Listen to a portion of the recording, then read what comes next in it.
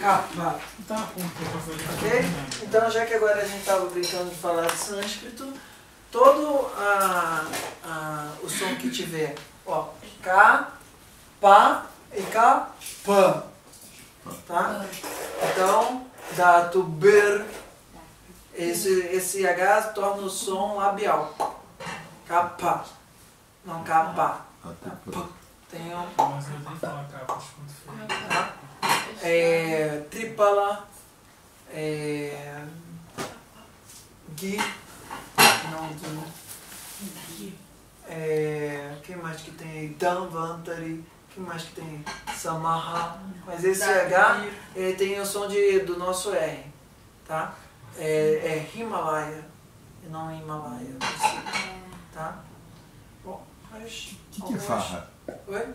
Varra. Varra é, é circulação, É sistema, é circulação. tá? Fluxo. Varre guru. Mas muita gente diz que o V no início fica o A, tá? Mas eu não sou um expert em sânscrito, sou só um Entusiasta. é, es- estudante, começando a estudar essa história, principalmente através da Ayurveda. Respiramos aqui. É, beber líquido durante as refeições interfere no processo digestivo? Água gelada ou fria apaga o Agni? Essa é uma boa pergunta. Ali até o Namastê responde, vamos aqui dentro mesmo. É, beber líquido durante as refeições pode ser algo necessário ou não para a saúde da digestão. A gente já vai falar sobre isso no Ambuvarro da Cavarras Frutas. É, água gelada ou fria apaga o Agni? Essa é mais fácil de responder. É, na perspectiva do Ayurveda, galera da biologia, hum, as nossas enzimas têm uma temperatura meio que pré-determinada para funcionar, não tem? Não tem uma curva de reação enzimática? Um dos fatores não é a temperatura que está o sistema, a pressão é outra. Né? Então, enzima é um treco fresco, né? Ah, meio coisinha para lá de temperatura dá um impacto na capacidade enzimática daquilo imenso, não é? Bom, no nosso corpo isso também é assim, certo? Na perspectiva do Ayurveda, a Agni tem a guna quente. Agni tem o guna quente e significa que quando a gente está no nosso estômago, a gente quer prioritariamente manter uma temperatura elevada. O que, que significa? Significa que quando você pega água que encosta na tua boca e a princípio tem um efeito desconfortável, ou encosta na tua garganta e tem um efeito desconfortável, é claro que desconfortável é relativo. Mas a nossa membrana faz assim. Você pode até achar na membrana gostoso. Mas quando a tua membrana faz isso para a membrana é desconfortável. Isso significa que essa água que vai chegar, esse líquido que vai chegar no teu estômago, quando chegar no estômago vai fazer o quê? Certo? Porque frio contrai, contrai? Então, para o Ayurveda, água fria durante as refeições, tomar coisa gelada, tá em, é, com gelo, está provavelmente num dos hábitos ultra perniciosos à saúde. Ok?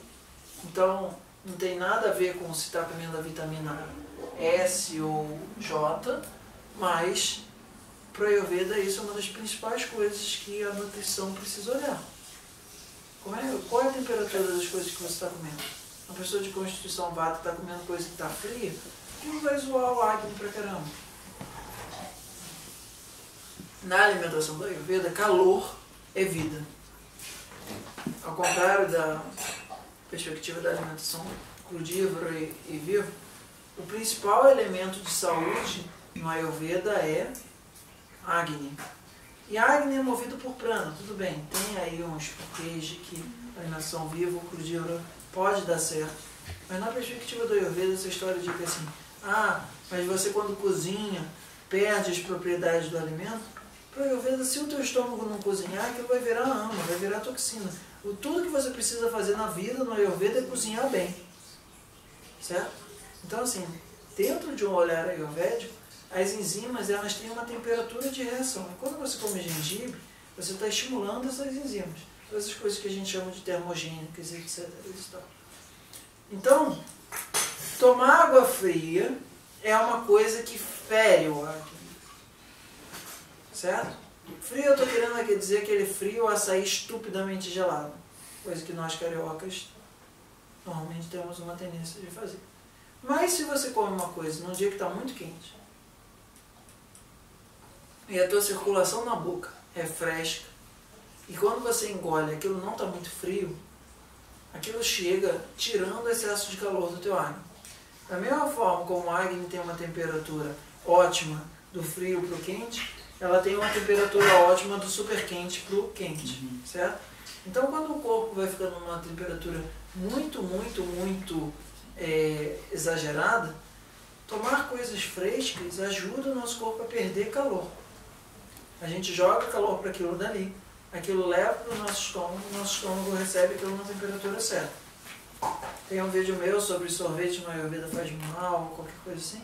A resposta é, não necessariamente, mas quase que via de regra. Tá? Açaí, etc. E tal. Tem, tem momentos que o açaí vai te fazer super bem. Rio de Janeiro, 50 graus. Dezembro. Hora do almoço. Calor insuportável. Você vai e acha que está com pouca fome porque está muito quente. Você vai e toma um açaí. A princípio aquele teu almoço. Lá por volta de 3, 4 da tarde, você volta a ter algum grau de fome para comer, para almoçar de verdade naquele horário. Para ver, isso foi, a princípio, ou mesmo para um café. Olha o que eu estou falando, hein? É, mas um açaí, tipo, julho, frio, chovendo, e você acha que açaí é uma coisa para comer no ano inteiro, você vai lá, mesmo para um pitão, porque provavelmente vai cair gelado no sistema. Certo? Então, para a Ayurveda sempre depende. Para quem, quando e como. Ok? Então, água gelada fere o acne. Água fresca, fria, pode ser razoável, desde que a tua circulação na boca é, dê conta de quando isso chegar no estômago, não chegue numa temperatura biologicamente desagradável. Você pode achar ótimo comer só mastigar gelo e engolir gelo. Já conheci gente que adorava fazer isso. Mas para o estômago, aquilo dali, independente da relação psicológica da pessoa, para o estômago, provavelmente 99% de chance para o estômago, aquilo dali está deixando a capacidade enzimática daquele lugar e o plexo nervoso, que a gente chama de samavaio, incapaz de coordenar o processo digestivo.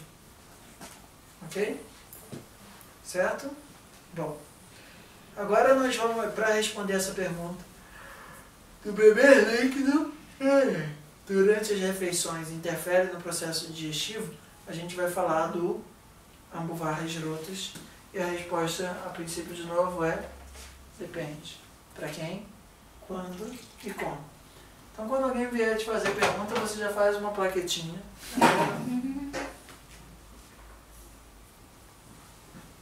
Aí, na outra mão, você levanta assim. A pergunta é para você ou para sua tia? Aí você já sabe por que, que a pessoa está perguntando aquilo. Certo? Bom.